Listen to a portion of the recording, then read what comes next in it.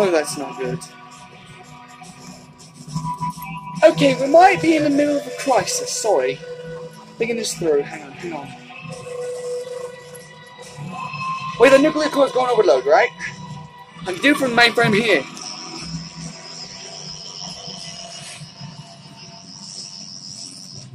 Hopefully.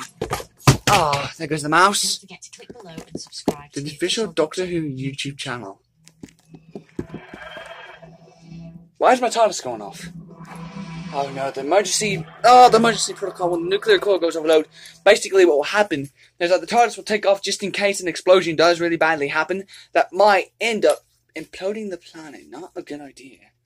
It was a good idea at the time, it still is. I'm going to keep that just in case, but then again, when a nuclear core goes overload, the TARDIS detects a nuclear core, nuclear core overheating and overloading.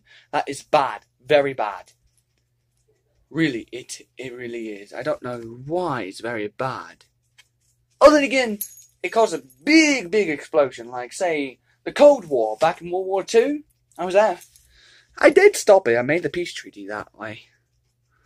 But if I'm not mistaken, still I can still fix the core, the heat of the core.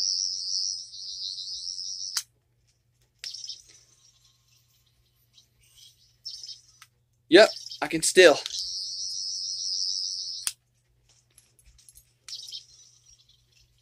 Yep. The core's cooled down. Okay.